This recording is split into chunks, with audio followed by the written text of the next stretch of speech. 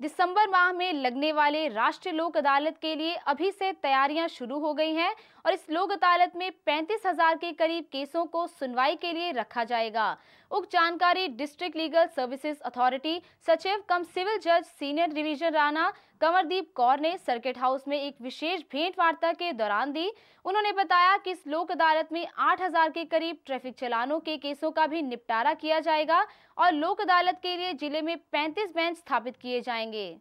ਕਾਨੂੰਨੀ ਸੇਵਾਵਾਂ ਅਥਾਰਟੀ ਨਵੀਂ ਦਿੱਲੀ ਅਤੇ ਪੰਜਾਬ ਕਾਨੂੰਨੀ ਸੇਵਾਵਾਂ ਅਥਾਰਟੀ ਚੰਡੀਗੜ੍ਹ ਦੇ ਦਿਸ਼ਾ ਨਿਰਦੇਸ਼ਾਂ ਦੇ ਤਹਿਤ ਕੀਤੀ ਗਈ ਹੈਗੀ ਹੈ 6/12/2014 ਨੂੰ ਨੈਸ਼ਨਲ ਲੋਕ ਅਦਾਲਤ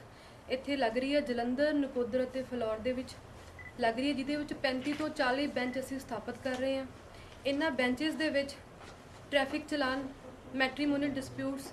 cheque bounce ਦੇ ਮਾਮਲੇ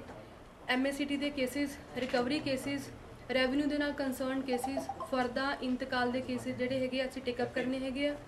ਅਤੇ ਇਹਨਾਂ ਦੇ ਵਿੱਚ ਮੈਂ ਹੋਰ ਵੀ ਇਸ ਤੋਂ ਇਲਾਵਾ ਦੱਸਣਾ ਚਾਹੁੰਦੀ ਆ ਕਿ ਬੈਂਕਾਂ ਅਤੇ ਟੈਲੀਫੋਨ ਕੰਪਨੀਆਂ ਦੇ ਜਿਹੜੇ ਕੇਸਿਸ ਹੈਗੇ ਆ, ਅਸੀਂ ਉਹ ਪ੍ਰੀ ਲਿਟੀਗੇਟਿਵ ਕੇਸਿਸ ਦੇ ਤੌਰ ਤੇ ਇਹਨਾਂ ਨੂੰ ਲੈ ਰਹੇ ਹਾਂ। ਜਿਹੜੇ ਵੀ ਅਜੇ ਕਿਸੇ ਕੇ- ਅਦਾਲਤ ਦੇ ਵਿੱਚ ਉਹ ਕੇਸ ਨਹੀਂ ਫਾਈਲ ਹੋਏ, ਉਹ ਵੀ ਅਸੀਂ ਇਹਨਾਂ ਦੇ ਵਿੱਚ ਟੇਕ ਅਪ ਕਰ ਰਹੇ ਹਾਂ।